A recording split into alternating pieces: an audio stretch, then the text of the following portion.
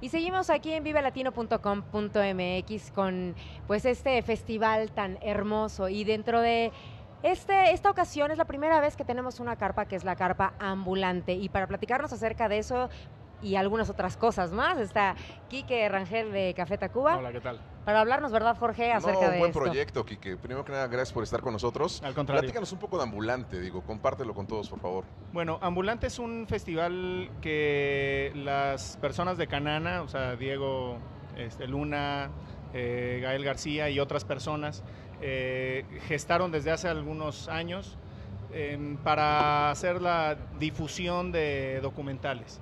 En- entiendo que al principio empezaron en la Ciudad de México, ahora es un festival itinerante que está dando vueltas. eh, en la Ciudad de México estuvo hace tres meses y ahora está creo que en Monterrey o algo así. Esta es la primera vez que eh, junto con Vive Latino deciden hacer lo que es la carpa ambulante y que es una carpa en donde pueden proyectar documentales de, de, De- de música. de música, sobre todo. Hoy viernes van a proyectar tres, eh, mañana y pasado cuatro por día. Eh, y decidieron que seguir siendo el documental de Café Tacuba, Claro. que el que presentamos el año pasado, fuera el, Parte, ¿no? el, el- el documental que, digamos, inaugurara este, este ciclo. Claro. Fíjate que eh, yo verte en la parte del cine, eh, como que yo te imagino en el escenario. ¿No extrañas hoy Pero en es este actor. festival estar allá en la tarima? O también se comparte el hecho de, pues, estamos trabajando con arte, también mostramos lo de nosotros y una idea que se hace ya en muchos festivales, que, que es el hecho de hacer este tipo de actividades con el cine. Digo, nos hacía falta también una actividad de este tipo. Yo es lo que creo. Bueno, a mí me parece que es una muy buena eh, idea de los organizadores del festival el ampliar las posibilidades que tienen. No solamente decir, este es un festival de música en vivo y ponemos tres escenarios y se suben A los tocar. grupos y tal. Claro. Hay muchas más opciones y, y yo creo que, bueno, y, y por lo que vimos en- hace un momento en el que presentamos el festival junto con, con Diego Luna, con la directora de Ambulante, es que el público también disfruta eso como si, o sea, eso también es música para ellos.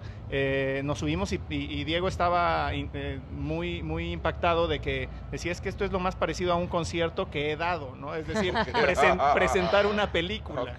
Claro, pues yo Eh, creo que porque a él no se le da el asunto de a lo mejor subirse a tocar con una banda, Claro, ¿no? ajá, claro. Él, él- él actúa y presenta una película o se sube a un Claro. escenario de teatro y recibe el aplauso.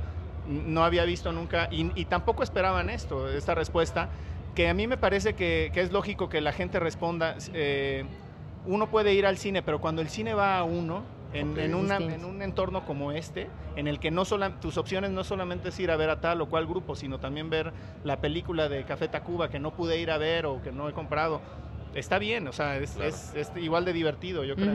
Fíjate, perdón, Luna, yo lo que no había visto nunca era ir a una sala de cine, ver música que me gusta, de un género que llevamos muchos años en esto, y de repente ver la gente cómo se para y aplaude. ¿Qué ha sido de resultado el documental de Café Tacuba ya al paso de los meses? Al día de hoy, ¿tú cómo Al te casi sientes con ese año, ¿no? trabajo? Yo, ¿sabes? Eh, yo lo sigo valorando como, como lo que vi desde un principio, ¿no? Es como abrir el álbum de fotos, es decir, miren, esto estaba pasando.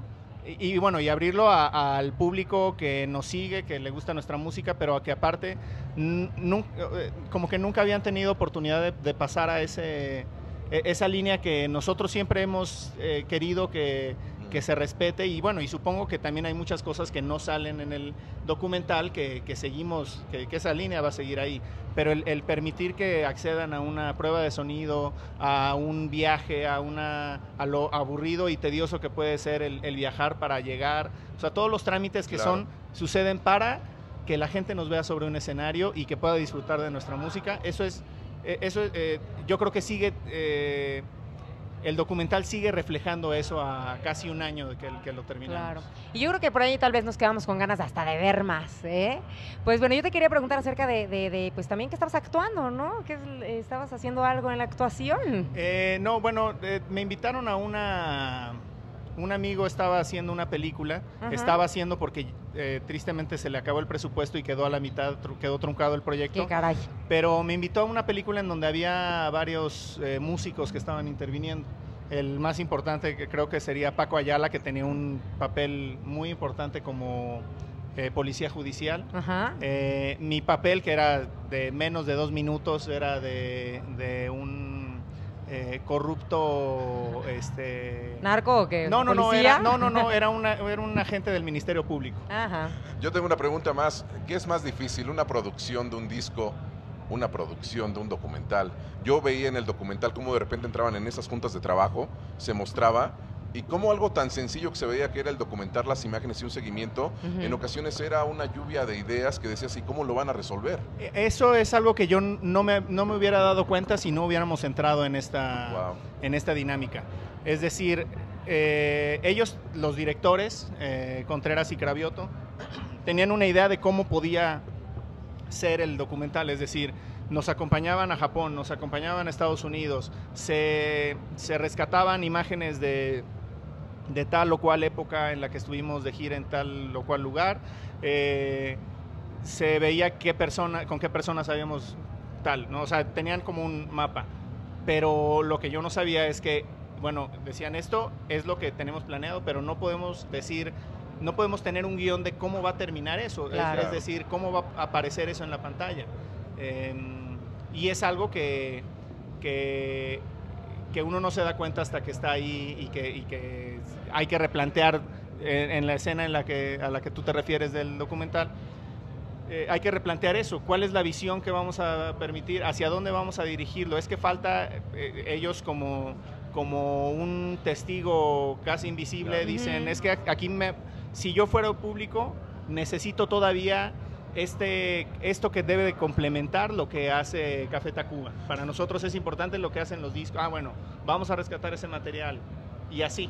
Finalmente son testimonios que se quedan para, para la eternidad y como lo decías, es un álbum de fotos que pasarán los años, pero qué importante que se realizó y se llevó a cabo. Sí, y, y a nosotros nos parecía importante hacerlo en una fecha tan especial como nuestro vigésimo Claro. aniversario, Claro. ¿no? Pues Y ahora gracias, Quique. presentarlo aquí, ¿no? Y ahora presentarlo aquí también eso es, es muy importante porque eh, es curioso, aunque lo hemos presentado en, la, en la Cineteca Nacional, lo presentamos en el auditorio eh, y también en el hace un año en el Festival de Cine de Guadalajara, un primer corte que todavía no era lo que, lo que se vio en el cine, pero no hemos tenido oportunidad de, de- de sentir la retroalimentación del público. Y eso es lo que va a pasar. Ahora que termine de, de proyectarse, vamos a sentarnos con el público y van a hacer ellos preguntas, vamos a hacer un, juego de preguntas.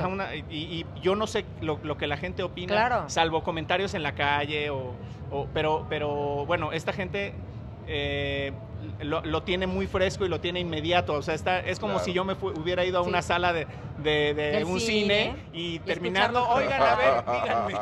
Que Bueno, eso es lo rico también. Eso es lo rico y eso me parece que, que, digo, espero disfrutarlo. Yo creo que sí, yo creo que así va a ser. Muchísimas gracias. Muchísimas gracias, Quique. Saludos a la banda. Claro que ¿eh? sí. Ahí de Café Tacuba. Y nosotros tenemos que seguir con más aquí en esto que es vivelatino.com.mx. Muchas gracias.